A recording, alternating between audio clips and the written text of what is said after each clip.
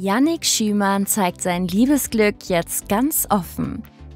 Der Schauspieler geht bereits seit einiger Zeit gemeinsam mit seinem Partner Felix Krug durchs Leben. Lange hält er die Beziehung jedoch geheim. Im Dezember wagt der 29-Jährige einen ersten Schritt. Er stellt seinen Fans Felix als den Mann an seiner Seite vor. Für Yannick steckt dahinter auch eine Message.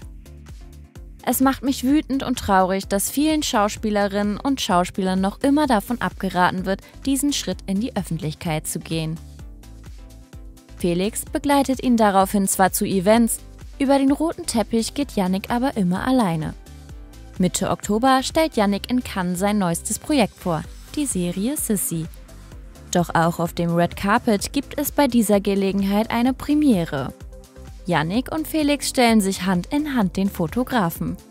Wie viel ihm dieser Moment bedeutet, verrät der High Society Star jetzt im Promi Flash Interview. Also natürlich hat es auf eine Art uns ein, noch ein stärkeres Fundament gegeben, ne? aber es hat sich in der Art, wie wir unsere Beziehungen leben, nichts verändert. Ich bin auch vorher mit ihm schon Hand in Hand durch die Stadt gelaufen, aber das ist natürlich jetzt alles sehr viel freier. Und diese Freiheit genießen Yannick und Felix sichtlich.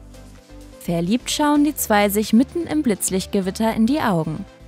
Ein Lebensgefühl, dem offenbar auch Tatortkommissar Wladimir Burlakow mehr Raum geben möchte.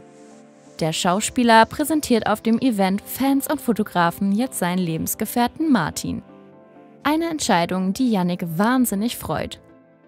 Das bedeutet tatsächlich alles für mich und ich bin so stolz auf Vladi, dass er das gemacht hat und ich freue mich so für ihn. Und es ist einfach wichtig, dass wir, ähm, dass wir das traditionelle Bild eines Liebespaares verändern, weil es besteht schon lange nicht mehr aus einem Mann und einer Frau.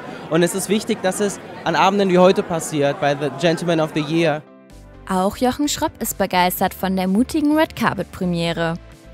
Der Moderator outet sich selbst vor drei Jahren und ist mittlerweile sogar verlobt. Mit auf den roten Teppich will sein zukünftiger aber bisher nicht. Umso mehr freut sich Jochen an diesem Abend für Wladimir.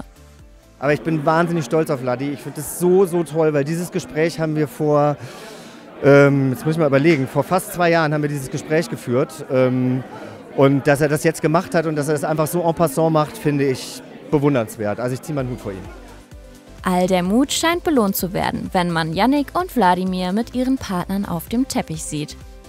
Die beiden Paare strahlen um die Wette und freuen sich offenbar, ihr Glück teilen zu können. Denn Yannick scheint es zu genießen, den roten Teppich nicht mehr für sich allein zu haben. Seine Fans dürfen sich also sicherlich auf viele weitere Carpet-Momente freuen.